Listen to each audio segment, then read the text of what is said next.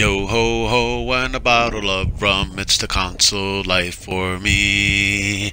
Yo ho ho and a bottle of rum, it's the Xbox life indeed. Now guess what, ladies and gentlemen?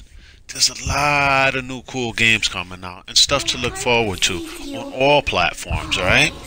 Now, me personally, I've been playing the living crap out of Sea of Thieves. Right, so far I've invested about 72 hours into the game, which is nothing to sneeze at. And I know they're going to be adding more content, more or less like the World of Warcraft's, Destinies, and Divisions of the world, you know what I'm saying? And there's been a lot of toxicity going on lately when it comes to, when it comes to the game called Spider-Man. That's going to be released by Insomniac Games. Now, Insomniac delivered this brand new original IP this generation for the Xbox One platform, and if you still haven't picked it up, I highly recommend it. Alright, now the way I see it, if you're an Xbox gamer and you want to play Spider Man, well, go buy a PlayStation 4, because that's the only way you're going to play it. Honestly, bro, it's an exclusive to the PlayStation platform, and Sony did right by themselves.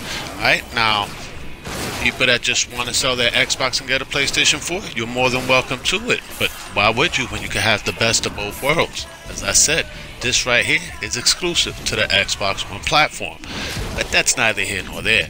There's a lot of new games that I've been playing recently. I recently picked up Flying Tigers Shadows over China.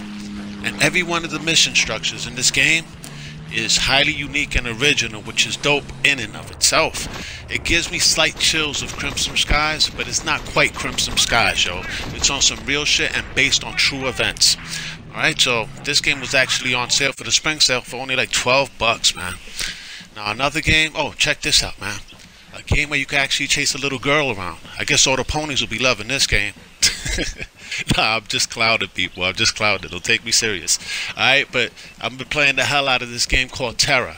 It's an MMO that actually came out on the Xbox One. It might be on PlayStation 4. I'm not so sure. All right, But I've been enjoying the living hell out of it, man. This game is freaking awesome. I mean, there's so many skill classes, different races. You know, out the skill classes that I use, I've already created two characters. One character is actually a warrior, all right, which is right here that you see before your eyes. And the other class that you'll see in a little bit is called the brawler, all right.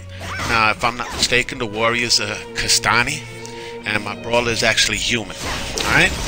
And actually, the mechanics in this game, the gameplay, the fluidity is pretty dope, man and I can't recommend it highly enough. I mean, I used to be addicted to Destiny, at least year one Destiny, crazy. All right, I mean, I think I have over 188 days in the first Destiny. Destiny 2, that's another story entirely.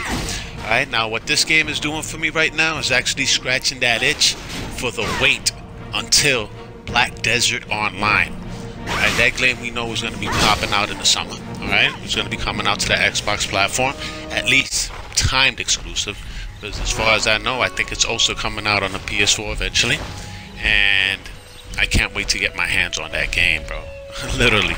Now, we also got State of Decay that's going to be dropping in a little bit, which is going to be dope in and of itself. I mean, that game looks all kinds of sick, man. Microsoft is doing right by themselves. And another game that I'm looking forward to is, of course, Crackdown 3. See what actually goes down in this giant, vast, open world that's going to have a fully destructible city in the online multiplayer. I mean, they've been harping about this for years. Let's see if they actually come through. I actually started playing the first one recently. And, dude, it's dope as hell. I ain't that much fun.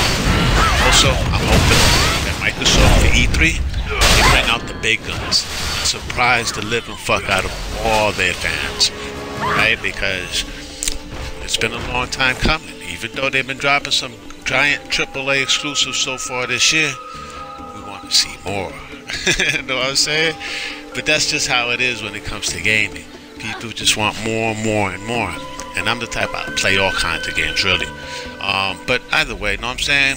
people let me know in your comments down below what games are you looking forward to for E3 you know what I'm saying oh and I almost forgot Spyro the Dragon people Spyro the Dragon coming out on all platforms except Switch what's up with that either way that's my two dollars worth. For everybody else, you can comment, rate, share, subscribe. I'm all for it. I'm signing off saying, and there it is, clear as motherfucking day, yo.